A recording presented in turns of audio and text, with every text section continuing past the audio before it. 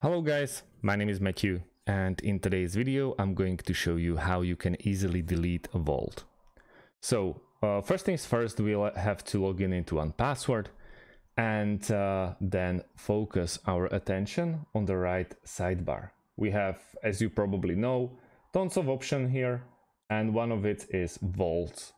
So we have uh, one, two, three vaults here. This one is already pre-created by 1Password this is uh, the one that I'm using and we have to delete one. So we're gonna click on to delete and we have the option of like more actions. And once we click there, there is this uh, red option delete vault and we're gonna click there. This vault uh, and its ten, uh, zero items will be permanently deleted.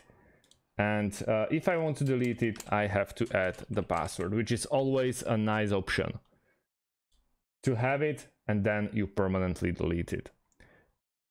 I strongly recommend you using 1Password because this option is like game changing. If it's a yes or no option, you can misclick and you can delete it and uh, you can't really misclick your whole password.